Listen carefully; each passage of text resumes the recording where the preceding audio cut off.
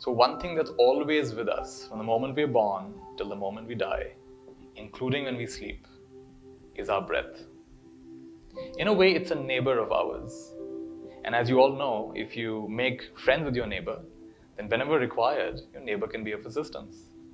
So our breath is one such neighbor. It's always with us. Do we pay attention to our breath?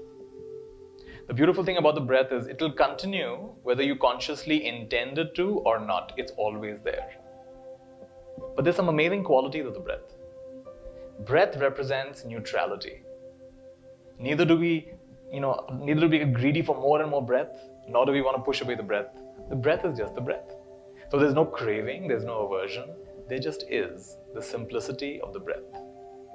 And if we can learn to reconnect to our breath, enjoy the simple act of breathing, which is happening by itself, then we find a very beautiful foundation which we can return to again and again and again.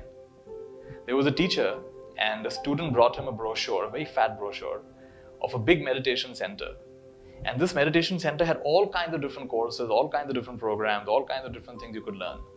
And he asked the teacher, which one should I do? And the teacher went through the brochure and said, This is very interesting. Each of these programs looks really nice. But let me tell you something that's even more valuable than any of these programs.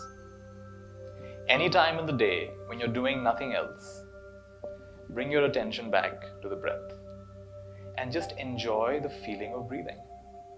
Enjoy that sensation of breathing.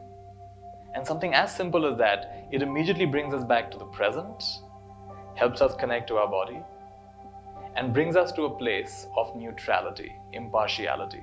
Not pulling, not pushing, just being. So, this is a beautiful practice awareness of breath.